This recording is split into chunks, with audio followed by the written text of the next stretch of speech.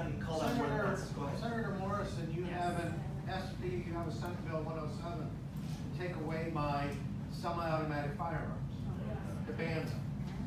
But there's a Not, clause, not to take, now let's, to, to There's a clause clarify, in the bill. I'm not taking your gun away from you, you just can't buy any new well, ones. you're, you wanna, want me to turn it over to the state police? You can't buy any new Unless- ones.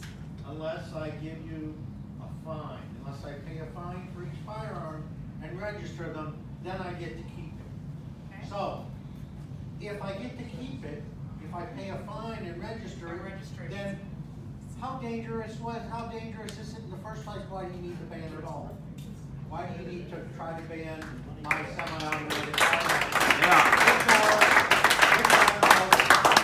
Firearms in use and you purchased, that being purchased? Well, you've just maybe changed my mind. Maybe we won't have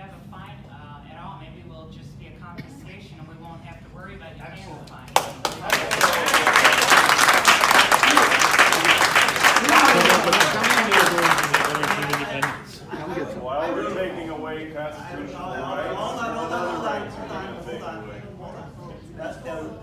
I would, like to ask a question. So I think generally speaking, with the way the state government regulates, we disincentivize behavior based on fines, penalties, and criminal activity and criminal enforcement. There's a whole escalation based on anything, anything we do. Um, things that, that ordinarily, uh, again, confiscation of weapons, uh, for, for mental illness is a conversation, right?